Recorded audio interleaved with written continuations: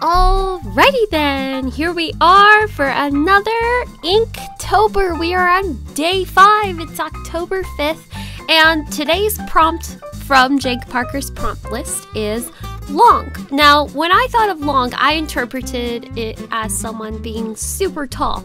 Um, so I wanted to pick something that wasn't Disney and I wanted to pick something that wasn't DreamWorks. So I tend to only stick to Disney and DreamWorks because they're my two most favorite animation companies. And then Sony Animation's is pretty cool too.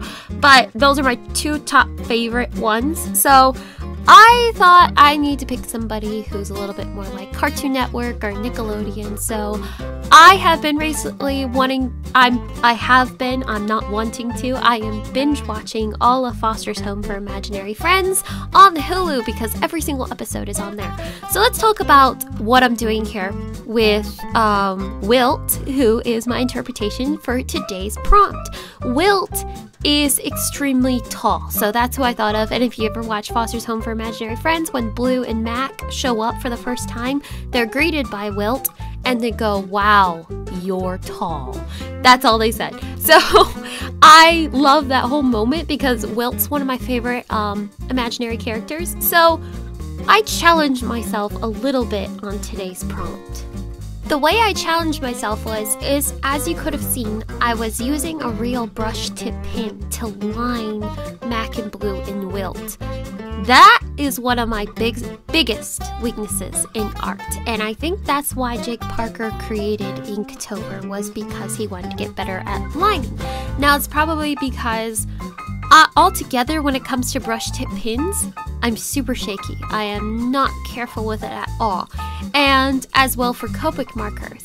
When it comes to Copic markers, as you can see, you can see the little sketchy marks. I don't do a flat overall color unless it requires me to do about three layers. But to get a flat color with Copic markers is really hard for me too.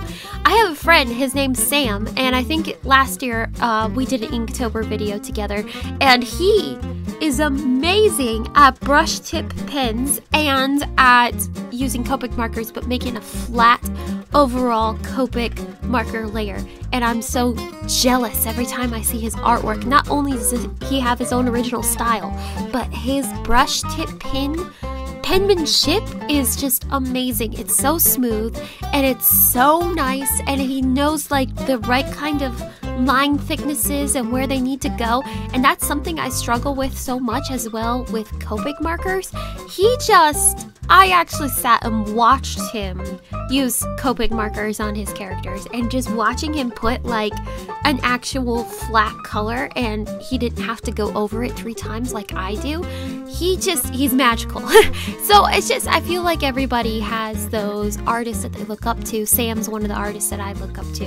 So if you want to look at his Instagram, I'll leave it down the description down below and you can see why I'm awestruck every time I look at his art.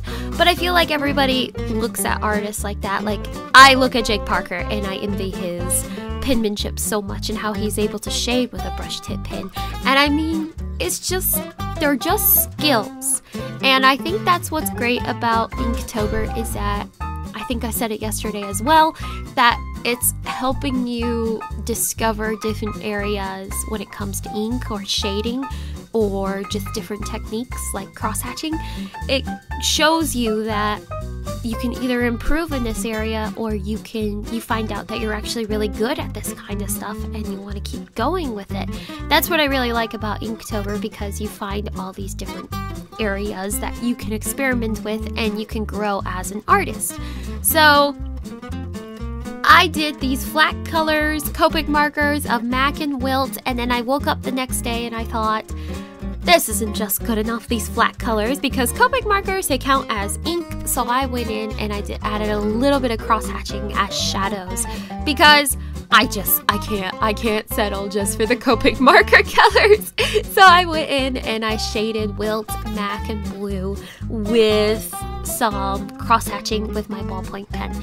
But yeah, that was today's little rant about penmanship and everything. And it's just really fun. It's a good way to broaden your horizons and try different things. So if you've been doing just regular lining for the day, maybe try lining with a brush tip pen or maybe uh, use watercolor for like, you know, ink as watercolor.